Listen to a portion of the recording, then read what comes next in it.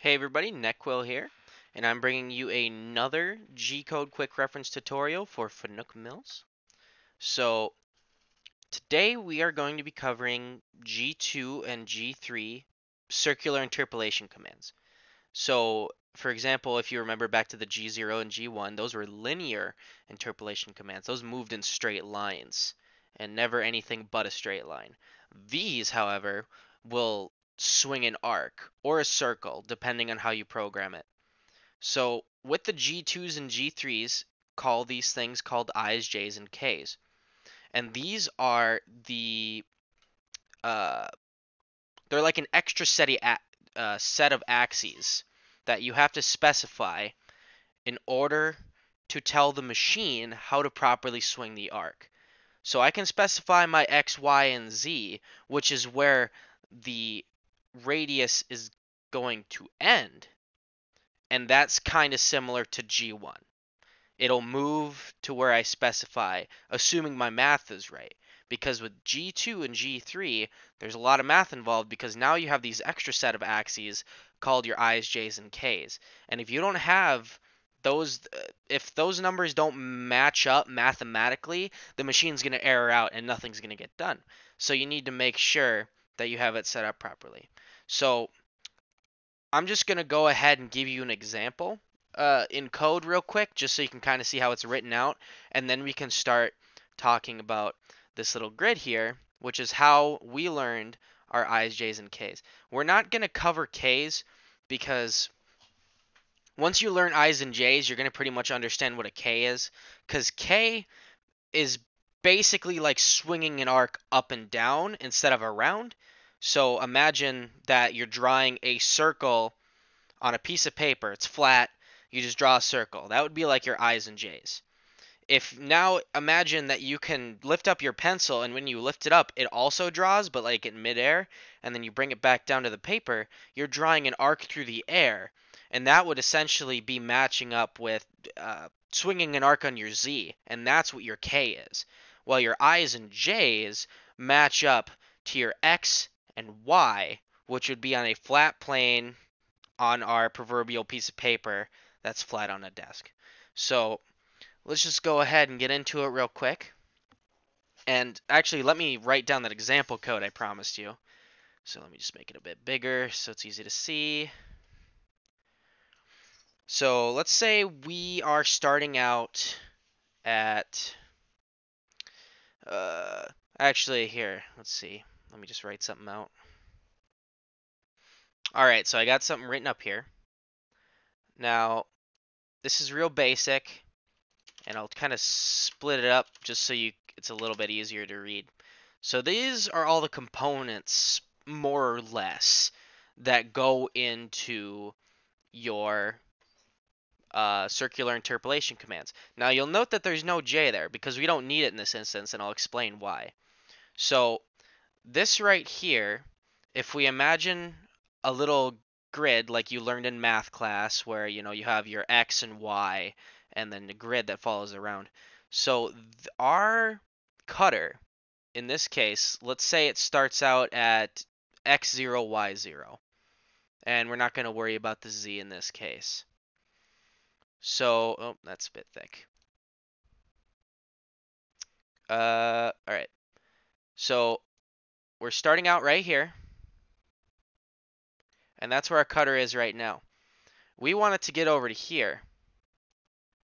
Which over here is our x2, y2. And we want to swing an arc over there because let's say we're making a fillet or something. Something to round off the edges so that the part isn't so sharp when it comes out of the machine. Um, so we want to swing an arc. And what this code is doing is allowing us to swing that arc because right here, I'm specifying the endpoint. So I want to move to x2, y2 right here. But since it's a G2, I'm going to be swinging clockwise. Clockwise, remember being this way. I'm going to swing clockwise this way and it's going to be an arc because of these circular interpolation moves. But if I want to do that, I have to specify the center point of the circle, which would be right about here. Okay, so this right here is technically, uh, in this case, this would be x2, y0. We need to specify where the center point is so that the machine knows how big the radius is.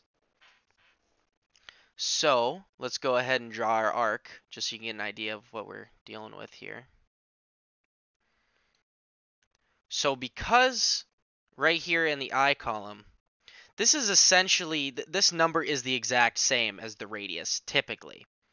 Uh, it doesn't always match up to that because, uh, well, no, it's, no, okay, it won't always because sometimes the start point isn't going to be perfectly 90 degrees from either axis. It might be at an angle or something, and then you're going to have to start doing some confusing math.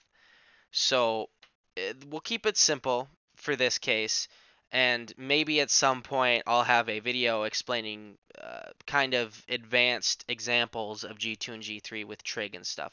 We're just going to keep it basic for now, just like in school. So we want to get over there to specify our point. Now you're thinking, oh, okay, well, if we're just specifying our radius, I know that that's two inches from the edge of the circle, so that's a two inch radius circle, so I can just put two inches. But wait, do I do I or do J? Well, I can kind of point this out over here. Your I is basically your temporary X, with your J being your temporary y. And it's flipped as well. So you're thinking, oh, okay, well, I'm moving positive in this direction to get to x2 to uh, specify that I want. I'm sorry. I'm trying to figure out the best way to explain this. Um, so you can't just put a positive value there because it it matters because think of it less like you're specifying the size of the radius, but more like you're pretending to move to that cutter to that radius. But it's kind of flipped. It's really weird how it works. So this is why I have an example down here. So in this case, uh, oh, oops, oops, yeah. I made a doo-doo. Don't pay attention to this minus. That is completely wrong. And this this right here will explain it why. See, this is why it's so useful. I looked at it and I'm like, oh, that's right. I made a mistake. So, for example, we'll go to our I here. Our start point, and right here, this crosshairs represents the center of our radius. So over here, if my start point is at x negative 5, I have to move positively 5 inches this way in order to get to the center. And that's what determines whether or not our I is positive or negative. It's what direction would I have to move in order to get to the center of it. So in this case, since I'm at x negative 5, I have to move positive 5 inches to get to that center. And since our i represents our x for specifying our center point with our g2s and g3s, I have to move positively to get to the center here. And then we can give an example with the j as well. Uh, so our y negative 1 right here, we need to move positive up in order to get to the center. So that would be J1. And uh, before you guys ask, uh, J and I, they don't mean anything. Like those are just placeholders. They are just uh, just remember them basically. They don't actually mean anything. So they're just unused letters for the most part. So they use them for uh, circular interpolation, and a couple of other things, but we'll get into that later. So if you get the basics of that, that's just moving in a straight line though. What if we need to swing an arc starting right here? We need to find the center point. Well, it kind of moves like a step, like it goes like this. For in this case. So you have to specify the two different numbers for the location. It's always you basically always take the axis and you make it negative.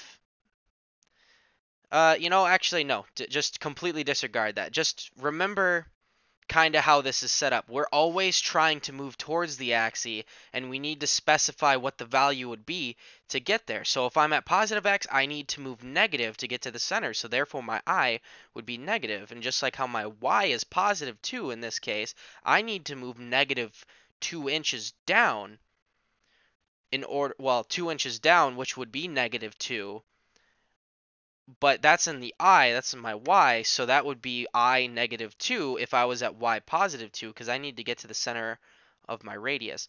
If this makes any sense, I'm super happy about it. If it doesn't make any sense, please leave a comment, and I will try to explain it the best I can. It's kind of hard to understand uh, sometimes, and I'm probably not doing that great of a job explaining it, but hopefully this will be adequate enough for somebody who kind of knows what's going on. So th- these are more to act as a refresher, anyways. So if I this my start point for my circle is at x2, y2, I need to specify that the center is uh, j negative 2, i negative 2. This is this does not this is an example where the center of our circle is 0, 0. That is definitely not always the case. And I can give you an example in a little bit here. But we'll just go back to this real quick. And so you can see that since this right here is 0, 0, and we want to swing an arc to x2, y2, and we want the radius of the arc to be 2 inches, we need to write out the code like this, which would be G2, our endpoint right here, and then our center point, and then our feed rate. Now, just like G1, it needs a feed rate. Uh, so, um, so yeah, so this is our endpoint this is our radius, and then this is our feed rate right here. And then this also means this G2 is clockwise. So remember that. That's super important. You can't put a G3 here. Otherwise, it's going to do this. It's going to go all the way around like this. It's going to swing a giant arc. So I'll, I'll draw it over here.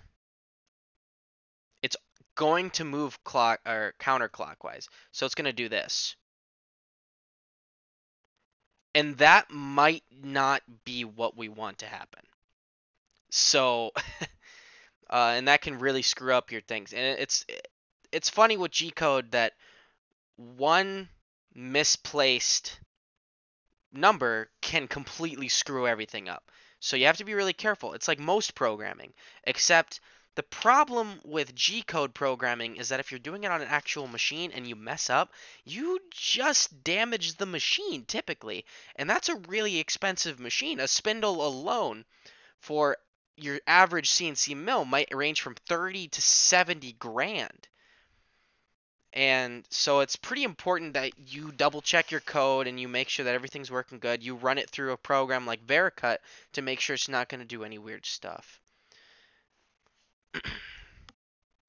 So, right, so this right here is on the x. We need to move over to x 2 inches. And since we're moving, we can imagine that this x2, y0 is now our 0, 0 here. So that would place our start point over here. We need to move in the positive direction to get to the center of that radius. So therefore, that's 2 inches away from our start point. So we would put I2 because it's on the X. So hopefully that makes sense to you guys. That is uh, uh, it's real tricky. Hopefully I can, I'll do a video later, maybe on kind of the advanced section of this, where we'll do a few examples where we will start at weird locations, at angles, we'll do all the math and everything. But this is just kind of the basics. If you guys have any questions, please leave them in the comments, and I'll try to get back to you as fast as I can. If not, thank you everyone for watching, and I will see you next time.